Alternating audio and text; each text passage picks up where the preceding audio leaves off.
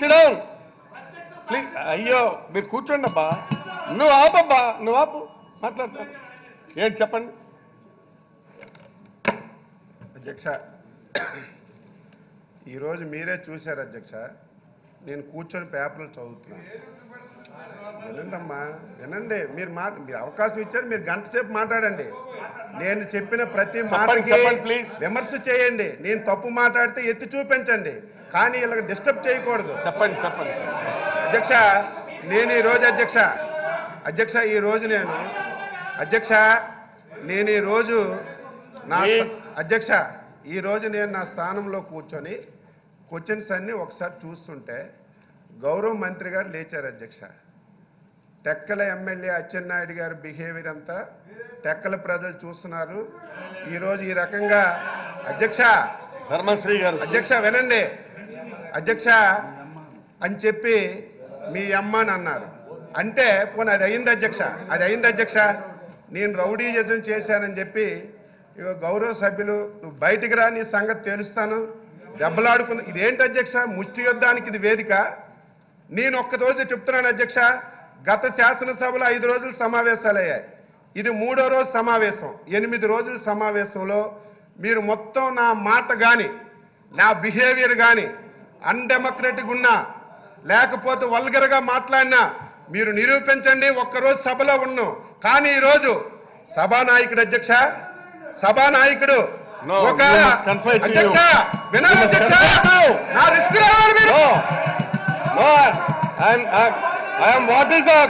what is the comment what is the comment what is the comment your given on leader of it is suspended from the records it is suspended from the record leader of the house మీద ఏదైతే గౌరవ సభ్యులు చేశారో వ్యాఖ్యానాల్ని రికార్డుల నుంచి తొలగిస్తున్నాను నేను. Please మీరు చెప్పండి. మీకు మీకు అక్కడ జరిగింది చెప్పండి. అంతేగాని మీరు ఇదంతా అట్రిబ్యూట్ సభకు అట్రిబ్యూట్ చేసే ప్రయత్నం చేయకండి. మాట్లాడండి. మళ్ళీ చూడండి అధ్యక్ష మాట్లాడండి మీరు ప్లీజ్ శ్రీధర్ రెడ్డి గారు ప్లీజ్ అధ్యక్ష ప్లీజ్ ప్లీజ్ అధ్యక్ష రమేష్ ప్లీజ్ ప్లీజ్ శ్రీధర్ రెడ్డి గారు సార్ ఆయన మీద కామెంట్ చేస్తానికి ఒక అరగంట చెప్పండి మీరు. చెప్పండి. మీ- మీ- మీరు క్లోజ్ చేయాలా? మీరు క్లోజ్ చేయాలా? అధ్యక్ష. మీరు క్లోజ్ చేయాలి. అదర్వైజ్ అవకాశం వెళ్ళాలి. అవకాశం అధ్యక్ష. మీరు చూశారు అధ్యక్ష. చెప్పండి. సభలో హుందాగా వివరించాలన్నటువంటి ప్రయత్నం చాలా ఎక్కువగా చేస్తున్నాం సార్ మేము. మంత్రి గారు సమాధానం ఇస్తూ తను చెప్పారు సార్. ఆటో డ్రైవర్లకు సంబంధించినటువంటి గొప్ప నిర్ణయాలు తీసుకున్నారు మా ముఖ్యమంత్రి జగన్మోహన్ రెడ్డి గారు. పాదయాత్రలు చూసిన తర్వాత వాళ్ళకి హామీలు ఇచ్చినటువంటి కూడా చేస్తూ వచ్చారు. కానీ సభలో హుందాగా వివరించినటువంటి మనుషులు కొంతమంది అసభ్యంగా ప్రవర్తిస్తున్నారు. దీనివల్ల బయట నిజవర్గాల్లో కూడా చర్చించుకుంటున్నారు. ఉదాహరణకు అచ్చెన్నాయుడు గారు టెక్కలో ఉన్నారు. అమ్మ అని అట్లా అంటే సార్ దాన్ని కూడా ఇంకొక పదంగా మార్చేసి ఎంత ఇదిగా మారుస్తున్నారంటే సార్ చాలా సార్ చాలా అన్యాయం సార్. కెమెరాలలో వస్తుంది అని చెప్పి వాళ్ళు ఏదో సానుభూతి పొందడానికి మాపై నిందలేయడం సరైనటువంటి పద్ధతి కాదు సార్. చాలా హుందాగా వివరించారు. నాన్నగారు కూడా వివరణిస్తారు సార్. నాన్నగారిని అడగండి సార్ ఆ మాట అన్నారేమో అని. ఎందుకు సార్ ఊరికే నిందలు మోపడం అవన్నీ మినిస్టర్ గారు ఏంటి?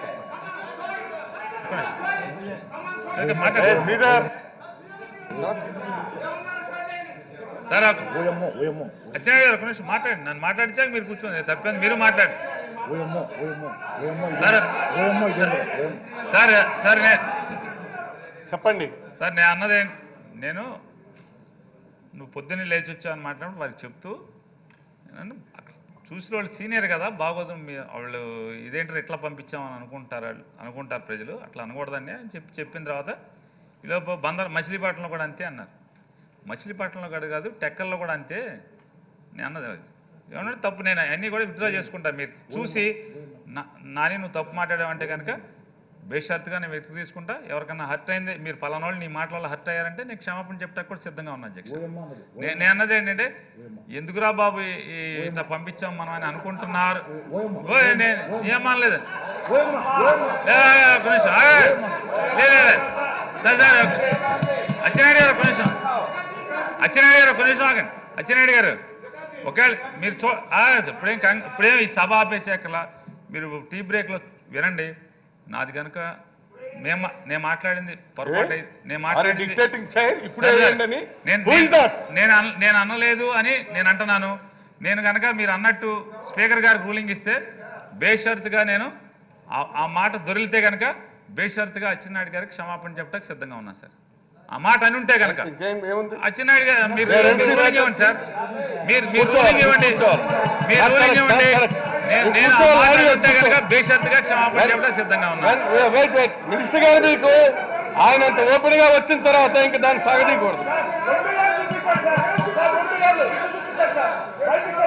ప్లీజ్ ప్లీజ్ ప్లీజ్ ప్లీజ్ ఆగండి ఆగండి right LUQ number please one eighty four deputy chief minister health and medical and family family welfare.